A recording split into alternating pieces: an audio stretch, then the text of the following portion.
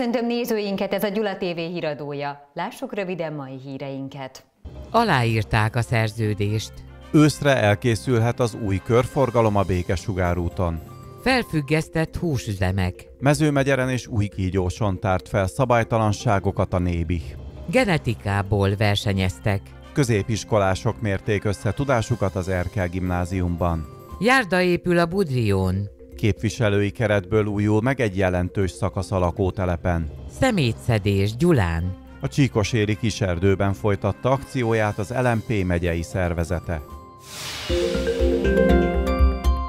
Rövidesen elkezdődhetnek a munkálatok a Békesugár úton, kedden ugyanis aláírták azt a kivitelezési szerződést, melynek köszönhetően körforgalom épülhet a város központban. Az Árpád és az Ötvös utcák találkozásánál lévő körforgalom várhatóan őszre készül el. Ez a nap híre. Görgényi Ernő polgármester és a Futizó Kft. ügyvezető tulajdonosa Piskolti Tibor kedd délelőtt írták alá a Békesugár úton épülő körforgalom kivitelezési szerződését. A munkálatok hamarosan elkezdődhetnek az Ötvös utca és az Árpád utca találkozásánál, melynek közelében számos intézmény helyezkedik el. Többek között ez is indokolta a beruházás fontosságát, hiszen a reggeli, illetve a délutáni órákban rendszeresen torlódás alakul ki ezen a szakaszon. A munkálatok során teljesen új pályaszerkezetet alakítanak ki, ami a jövőben szélesebb is lesz. A Békesugár útról az Árpád utcába kanyarodó autósokat egy járdasziget fogja segíteni a gyorsabb közlekedésben, így nekik nem kell majd behajtaniuk a körforgalomba. A Gyulai Képviselőtestület még 2010-ben döntött a körforgalom megépítése mellett, melyre 2017-ben nyújtottak be pályázatot. Erről 2018. júniusában született meg a döntés, amely közel 108 millió forintot biztosít a kivitelezése. Ehhez még további 21 millió forintot tesz hozzá az önkormányzat. A körforgalmi csomópont kialakítása nagy mértékben növeli majd a forgalom biztonságát, és csökkenti majd a várakozási időt ebben a csomópontban. Nagyon fontos volt számunkra, amikor harcot fordítunk a megyei források elnyeréséért, hogy a közlekedés fejlesztésre is támogatásokat nyerjünk el. Ez egy régi terv volt Gyulán, ez egy olyan balesetveszélyes kereszteződés, amelynek az átépítése azért is élvezett elsőbséget, mert itt a környéken több általános iskola, óvoda van, gyermekorvosi rendelők, iskolorvosi rendelő és kulturális intézmények, valamint tornacsarnok is. Ezért itt a közlekedés biztonsága az első. A felújítás során a közvilágítást is át kell építeni. 8 lámpatestet elszállítanak, amit 13 újra cserélnek le, és új zebravilágító lámpatestet is kihelyeznek. A kivitelezési határidő augusztus 30-a, tehát az új tanév kezdetére újra használható lesz az útszakasz, és bár a munkálatok rövidesen elkezdődnek, de a kereszteződést a jelenlegi tanév végéig nem fogják lezárni. Békés megyei húsüzemekre csapott le a NÉBI, a Nemzeti Élelmiszerlánc Biztonsági Hivatal szakemberei rövid időn belül két Békés megyei élelmiszer előállító üzemet is felfüggesztettek. Az egymást követő márciusi ellenőrzések során a helyszíneken élelmiszerbiztonsági és higiéniai jogsértéseket egyaránt feltártak az ellenőrök. A pácolt sonkát, zsírt és töltelékárút előállító mezőmegyeri létesítményben súlyos higiéniai hiányosságokkal szembesültek az ellenőrök.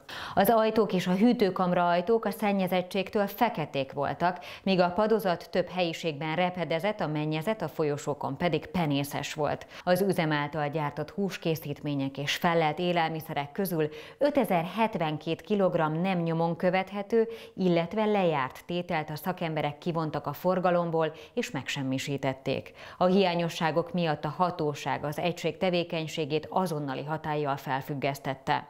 A hibákat az üzem az azóta tartott ismételt hatósági ellenőrzésekre sem tudta kijavítani, így továbbra sem folytathatja tevékenységét. Egy új kígyósi húskészítmény előállító létesítményben a higiéniai hiányosságokon túl egérürüléket, valamint rákcsáló fogóban élő és elpusztult egereket is találtak a nébis szakemberei. Az üzemben tapasztalt jelentős élelmiszerbiztonsági hiányosságok miatt a hatóság itt is azonnali hatállyal felfüggesztette az egység húskészítmény készítmény előállító tevékenységét. Emellett 2,6 tonna nem nyomon követhető, illetve lejárt minőségmegőrzési idejű, valamint penészes terméket vont ki a forgalomból. Ez az üzem a hiányosságok kijavítása után a hatóság ismételt helyszíni szemléjét követően folytathatta tevékenységét. Szombaton az Erkel Ferenc gimnáziumban immár második alkalommal rendezték meg a Cejzelendre genetikai feladatmegoldó versenyt, melyen 24 középiskolás mérte összetudását. A dolgozatok megírása után a résztvevőknek és tanáraiknak lehetőségük volt a tudományággal kapcsolatos és a névadóról szóló előadásokat is meghallgatni. Hogyan lehetne valahogy azt elérni, hogy a genetika az nem valami felhők feletti tudomány legyen, hanem valami olyasmi, ami rólunk szól. A genetika, molekuláris biológia, sejtbiológia, fejlődésbiológia tudományágak tehetségeinek felkutatása, felkarolása és segítése a cél, hangzott el szombaton a Cejzelendre genetikai feladatmegoldó versenyen. Az Erkel Ferenc Gimnázium második alkalommal adott otthon te versenynek. A megye egész területéről érkező 24 tanulónak olyan feladatokat kellett megoldania, melyek a már megtanultak gyakorlati, mindennapi életben jelenlévő példákat tartalmazták. Így leginkább azok tudtak érvényesülni, akik valóban érték vagy emelt óraszámban tanulnak biológiát. Szilágyi János kollégám és a, a biológia szakosok álltak a kezdeményezés mellé, hogy megrendezzük ezt a versenyt, hiszen az iskolában több tíz éve működik biológia tagozat, és elsősorban azok a diákok tudnak itt eredményesen részt venni, akik emelt óraszámban tanulják a biológiát. Kovács Ilona megbízott igazgató hozzátette, a gimnázium készen áll arra, hogy hagyományt teremtsen e verseny megrendezésével. Szabad János genetikus professzor kifejtette, korábban Cejzelendrével elhivatottan tevékenykedtek annak elérése érdekében, hogy megszerettessék a genetikát a fiatalokkal, illetve kiemeljék közülük a tehetségeket, később segítve fejlődésüket, így merült fel bennük a kérdés, hogy hogyan, milyen módszerekkel lehetne e célokat megvalósítani. Ehhez kapcsolódik a verseny mottója is, melyet korábban a névadó fogalmazott meg, miszerint a tehetség kibontakoztatásában a legfontosabb szereplő a pedagógus. A genetikát úgy lehet közelhozni a fiatalokhoz, hogy megmutatjuk, hogy milyen szép a genetika. Olyan egyszerű példákkal, mint amilyen ma is fog majd szerepelni, hogy mitől van szarva a kecskének, és mitől nincs valamelyik kecskének szarva. Vagy olyasmiről, hogy hogyan teszi az ember a kezét karba. Látja a televízió, hogy valaki a bal kezét, mint én is, valaki pedig a jobb kezét. Ez egy genetikailag meghatározott tulajdonság, de még nagyon sok ilyen van. És természetesen van az egésznek egy gyakorlati haszna is, hogy tudni illik, értsük azt, hogy a tulajdonságok hogy öröklődnek generációról generációra. Szabad János hozzátette, az általa összeállított feladatsor amellett, hogy nem a tankönyvben tanultakra kérdez rá, számtalan fortét tartalmaz, amire ha rájönnek a versenyzők, könnyedén eljutnak a helyes megoldásig. E forté leleplezése pedig egyaránt örömérzéssel tölti el a diákokat és a feladatkészítőt is. Szabó Mártonnal, aki Szeghalomról érkezett, éppen tanára szeretette meg a genetikát, ezért gondolta úgy, hogy részt vesz a szombati megmérettetésen. A tanárnőm ismertette meg velem ezt a tudományágat, és ezért gondoltam úgy, hogy kipróbálom, hogy miről is szól ez, és, és megtetszett. Elek Sándor elárulta, biomérnöknek vagy molekuláris biológia mérnöknek szeretne tanulni. Ezért érezte fontosnak, hogy jelentkezzen a versenyre. Jelen pillanatban 12. osztályos tanuló vagyok itt az Erke Ferenc gimnáziumban, és maga ez a genetika, ez számomra mindig is egy nagyon érdekes része volt a biológiának. Én a tananyagot, illetve egyéb könyveket néztem át nagy nevektől, dr. Ormai Sándor, vagy esetleges Cejzel Endrétől, és könyveket és annak, annak értelmét próbáltam meg, megfogni. A feladatok megoldását követően a diákoknak és kísérő tanáraiknak lehetőségük volt olyan előadásokon is részt venni, mely a biológia etikai kérdéseit vitatta, vagy Cejzel Endre munkásságára emlékezett. 3,6 millió forintból épül új járda május 15-éig a Budrió lakótelepen. A keddi helyszíni sajtótájékoztatón Kónya István alpolgármester arra hívta fel a figyelmet, hogy a régi járdát a lakótelep megépítése óta nem javították. Ezekben a napokban már javában zajlik a munka a Budrió lakótelepen, ahol a régi elhasznált járda helyett készítenek újat. Számtalan olyan kisebb, nagyobb felújítás, ami hát indokoltá tetté azt, hogy a Budrió lakótelep 4-es számtól egészen a 10-es számig teljes mértékben felszedésre kerüljön ez a nagyjából másfél méter szélességű aszfaltjárda. Ez a járda akkor épült, amikor a lakótelep. Azóta itt ilyen felújítást nem végeztek, mondta a kedd délelőtti sajtótájékoztatón Kónya István alpolgármester, a körzet önkormányzati képviselője.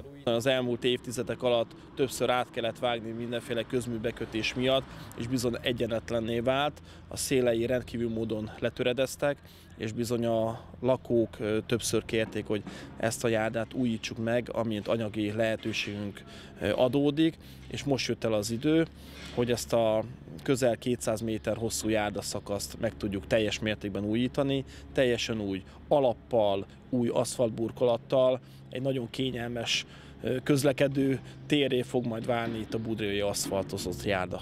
A beruházás 275 négyzetméteres alapterületet érint, a 10 cm-es homokos ágyazatra betonréteget helyeznek, majd erre kerül 4 cm aszfalt. A 3,6 millió forint összértékű munkát Gyulai cég, az Aszfalt Közmű Kft. végzi. A kivitelezés várhatóan május 15-én fejeződik be.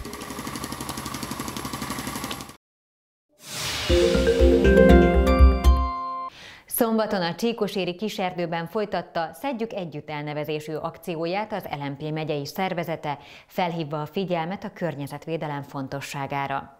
A két illegális szemétlerakó felszámolása után az erdőben gyűjtötték össze a veszélyes és építési hulladékot. Szombaton a földórája alkalmából rendezett szemétszedő akciót az LMP Békés megyei szervezete. Ezzel arra szeretnék felhívni a figyelmet, hogy környezetünk védelme, tisztasága nagyban hozzájárul életminőségünk és a természet változásához. A talajszennyezés leggyakoribb forrásai a szemét és hulladéklerakók. Amennyiben ezek nem tartják be a környezetvédelmi előírásokat, veszélyes anyagok szivároghatnak a talajba. Az LNP területi szervezete az Békécsaba környékén már az elmúlt hónapokban felszámolt kettő darab illegális szemétlerakót, és úgy gondoltuk, hogy ezt nem Békécsaba környékén folytatjuk, hanem körbejárjuk a közép-békési térség településeit, és egy-egy helyen nem csak figyelemfelkeltési cél, céllal, hanem devülegesen is összegyűjtjük a szemetet, mint ahogy most tesszük itt a kis erdőbe, itt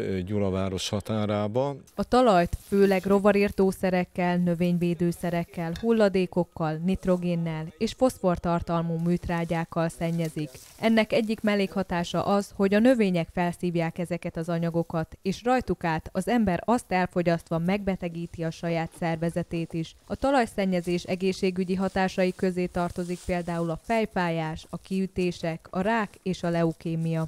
Veréb Attila, az LMP Gyulai tagja kifejtette, hazánkban egyre fokozódik a környezetszennyezés e fajtája, mivel egyre több hulladéktároló telepet zárnak be, valamint növekszik a talajerózió a tudatos faírtással. Ezt kívánták megakadályozni a Szedjünk Együtt elnevezésű akciójukkal, mely keretein belül egy héten át szedtek szemetet Békés Csaba környékén úgy gondolom, hogy itt nem hetet, egy hétig kell szemetet szedni, hanem jogkövető magatartásra van szükség az állampolgárok részéről, hogy ne szórják a szemetet minden talpalatnyi helyre. A város is egyébként nagyon sok helyen szemetes a város környéki parkok, kiserdők, illetve hát a másik rész, hogy lehetővé kell tenni, hogy a állampolgárok a hulladékot díjmentesen vagy nagyon-nagyon kedvező díjazás ellenében lerakassák. Tehát itt is építési törmeléket találtunk, rossz kidobott tévét, ami egyébként veszélyes hulladék, és most ezt viszonylag kis területet megpróbáljuk hát, szeméttől mentesíteni.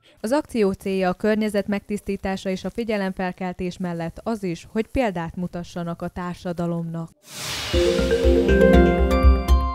Szombaton érkezett Gyulára az 52. Nemzetközi Eukarisztikus Kongresszus szimbóluma a Misztiós Kereszt, melyet Ferenc pápa is megáldott. Rövid hírek következnek. Az alábbi képsorokon láthatjuk, ahogy szombaton a Gyulai Nádi Boldogasszony templomba érkezik a Missziós Kereszt. A 2020-ban Budapesten zajló 52. Nemzetközi Eukarisztikus Kongresszus szimbólumaként szolgál Osvári Csaba ötvös művész, közel 3 méteres bronzborításokkal díszített tölgyfa kereszt alkotása, mely egyben erekje tartóként is funkcionál. Leveles indás mintázata az ősi magyar életfa motívumot jeleníti meg, melyek között számos páva alakját is felfedezhetjük. E madár a magyar kultúrában számos helyen jelent meg a tisztaság és teljesség jelképeként, illetve a középkori ábrázolásokban Krisztus és az örök élet szimbólumaként értelmezik. És úgy gondolták, hogy olyan gyönyörű ennek a pálmának a tolla, mint az ég, mint az Isten világa, mint az örök élet. És ezért lett az örök életnek a szimbóluma a pálma középkorban, az alábbi képsorokon pedig azt láthatjuk, ahogy Kovács Péter plébános hétfőn a Boldogapor Vilmos óvoda növendékei számára mutatja be a missziós keresztet. Az óvodások kedvence a középen elhelyezett Szent Kereszterekje, mely a legjelentősebb a 26 közül. Kovács Péter a város és az egyházmegye szempontjából három személy erekjéjét emelte ki. Szent Gellértet, az egyházmegye alapítóját, Kapisztrán Szent Jánost, aki a törökök ellen harcolt, valamint Boldogapor Vilmost, akit Gyulán szenteltek győri püspökké. Az óvodások énekkel és közös imádsággal dicsérték a missziós keresztet.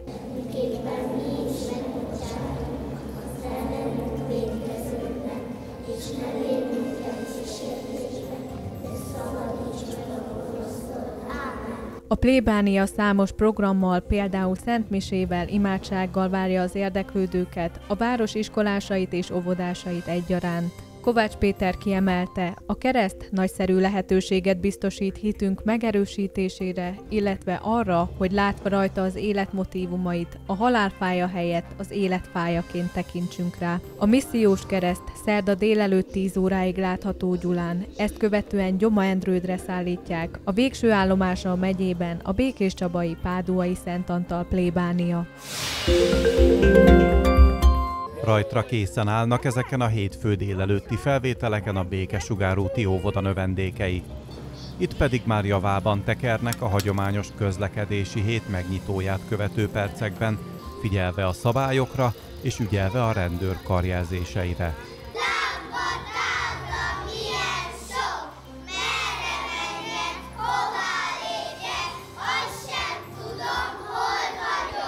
A gyerekek műsora ez alkalommal a közlekedésről szólt, ami az idejáró fiatalok számára nem egy idegen közeg, hiszen az udvarra kilépve minden alkalommal szembesülnek azzal, hogy a közlekedésnek bizony szabályai is vannak. A közlekedési hét évek óta jól szolgálja azt a célt, hogy a gyerekek már ebben a korban minél inkább tisztában legyenek a legfontosabb szabályokkal, ismerjék a táblákat, jelzéseket. A gyerekek a csütörtökig tartó programok során Kedden megnézik a Békés Csabai vasútállomást, szerdán buszra szállnak és a Csabai repülőtérre látogatnak.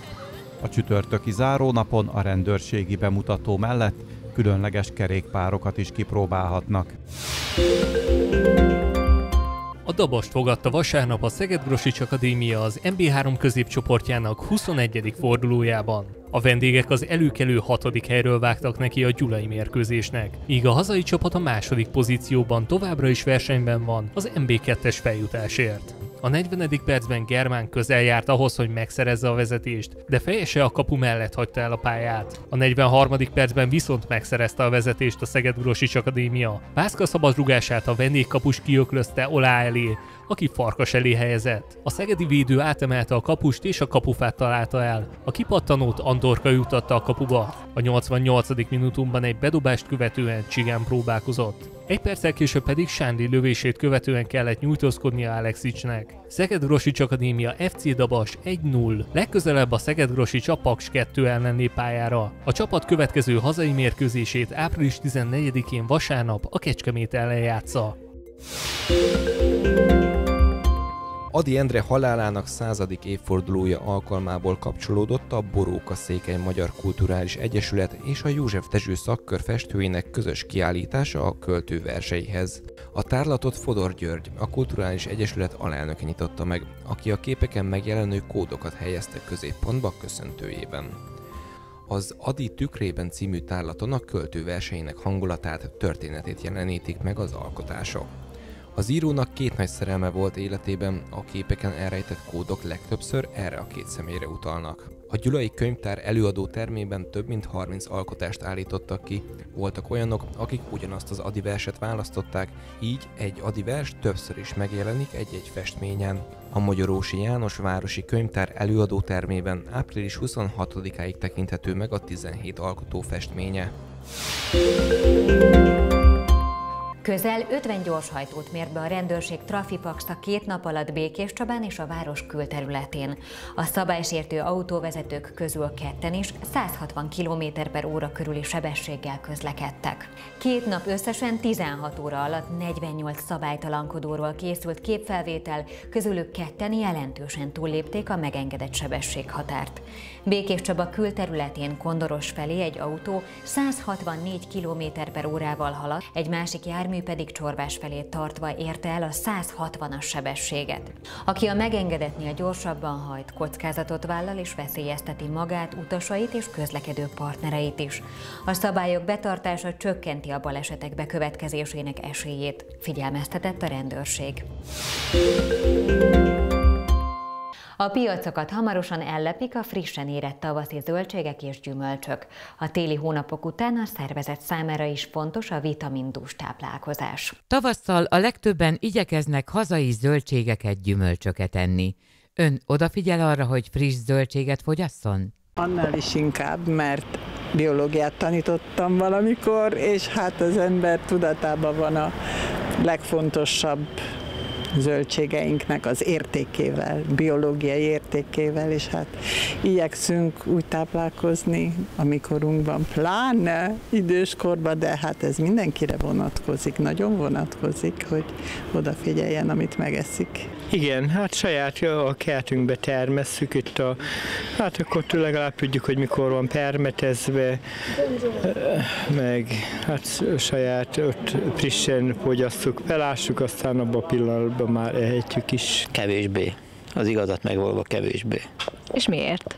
Hát Hát konkrét komoly választ nem tudok ráadni, megszokásból inkább csak azt tudom mondani. És honnan szerzi be a zöldségeket, gyümölcsöket? Piacon, piacon, piacon. Ott, ott a helyi piacon zömmel, meg a közelben lévő zöldségkereskedőtől. Megnyitották a Rákóczi emlékévet. Lapszemle következik. Megnyitották a Rákóczi emlékévet. A Magyarországgyűlés a 2019-es évet második Rákóczi Ferenc emlékévnek nyilvánította, erdélyi fejedelemmé választása 315. évfordulója alkalmából. A Magyar Kurír beszámolója szerint az eseményre Kiskunhalason Bábel Balázs kalocsai érsekkel emlékeztek. A fenntarthatóságról tanultak. A víz témakörben tartott előadást a Körösmaros Nemzeti Park igazgatóság munkatársa a Békés Csabai Jankai iskolában, írta a kmnp.hu. A csak nem 180 felső tagozatos diák érdeklődve hallgatta az előadást, melynek végén többen kérdéseket is feltettek. Arcok, lelkek, érzelmek. Ezzel a címmel nyílik kiállítás április 11-én a Gyulai Művelődési Központban, írta a Gyulakult. A különleges tárlat legfőbb apropóját egy nemzetközi alkotótábor adja. Háromszor jár a fürdőbérlet. A rekreációs támogatásként igénybe vehető fürdőbérletek száma az eddigi éves kettő helyett háromra nőtt. A Békésváros azt írta, támogatásként 20 alkalmas bérletet biztosítanak az arra rászorulóknak békésen.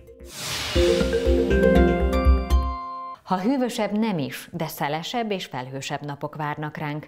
A hétvége ismét kellemesnek látszik, noha több lehet a csapadék. Szerdán megerősödik a szél, több lesz a felhő. A hőmérséklet az éjszakai 5 fokról kora délutánra 17 fokig emelkedik. Csütörtökön erősödik a légmozgás, napos, felhős időszakok váltják egymást. A hőmérséklet 8 és 18 fok között változik. Lássuk még egyszer mai híreinket. Aláírták a szerződést. Őszre elkészülhet az új körforgalom a Békesugárúton. Felfüggesztett húsüzemek. Mezőmegyeren és új kígyóson tárt fel szabálytalanságokat a nébi. Genetikából versenyeztek. Középiskolások mérték össze tudásukat az Erkel gimnáziumban. Járda épül a Budrión. Képviselői keretből újul meg egy jelentős szakasz a lakótelepen. Szemétszedés Gyulán. A Csíkoséri kiserdőben folytatta akcióját az LMP megyei szervezete. A Gyula TV híradóját látták, most a két egy következik Kozák Márta operaénekessel. Nézzék híreinket, videóinkat a Facebookon, a Youtube-on és a gyulatelevízió.hu oldalon is. Köszönjük figyelmüket, további jó tévézést kívánunk!